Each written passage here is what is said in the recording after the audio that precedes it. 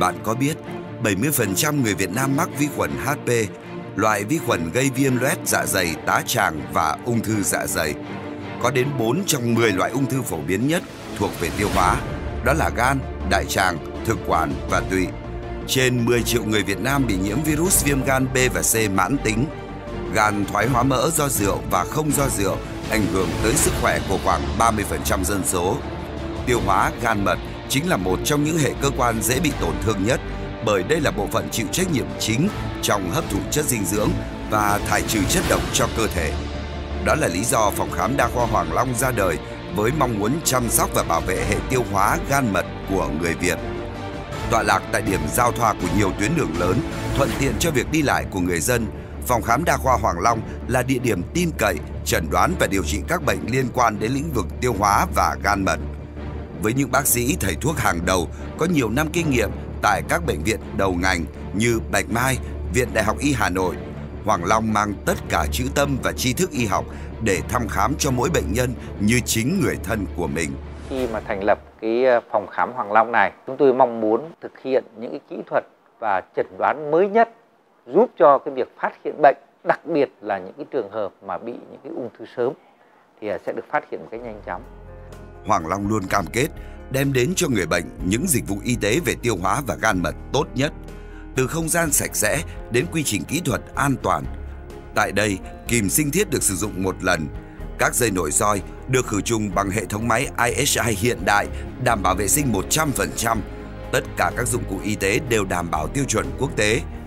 Bên cạnh đó, hệ thống trang thiết bị y khoa luôn được Hoàng Long chú trọng cập nhật những công nghệ hiện đại nhất – như hệ thống nội soi có khả năng phóng đại hình ảnh lên tới 300 lần với khả năng nhuộm màu ảo giúp nhận diện chính xác tổn thương, đặc biệt là với các trường hợp ung thư đường tiêu hóa sớm. Máy siêu âm nội soi thế hệ mới với chế độ harmonic và elastography chẩn đoán và phân loại giai đoạn ung thư ống tiêu hóa một cách chính xác.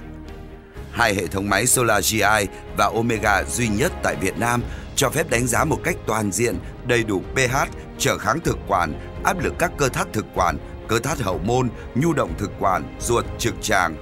Công nghệ tiên tiến này giúp các bác sĩ phân loại, chẩn đoán chính xác, từ đó lựa chọn phương án điều trị hiệu quả nhất dựa trên cơ chế sinh bệnh học và chức năng sinh lý ở từng bệnh nhân.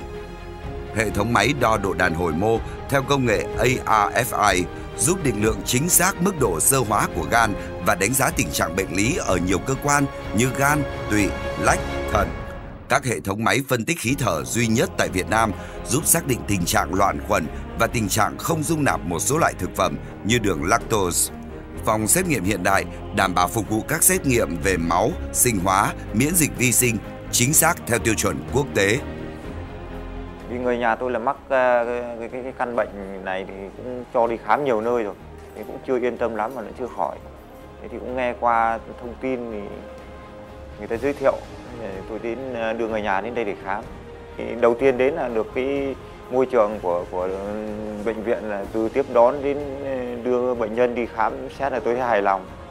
Chi phí khám bệnh giá cả thì nó cũng phù hợp mà nó phổ thông. Nếu ai mà muốn đi khám thì cô giới thiệu về đây. Cô thì giới thiệu về cô về xóm thì cô thì giới thiệu về đây. Vì Hoàng Long là nhà vì bạn là người thân hãy để chúng tôi chăm sóc sức khỏe tiêu hóa và gan mật của bạn Phòng khám đa khoa Hoàng Long, Viện Nghiên cứu và Đào tạo Tiêu hóa Gan Mật. Sức khỏe là khởi nguồn của hạnh phúc. Tầng 10 tòa tháp VCCI, số 9 Đào Duy Anh, Đống Đa, Hà Nội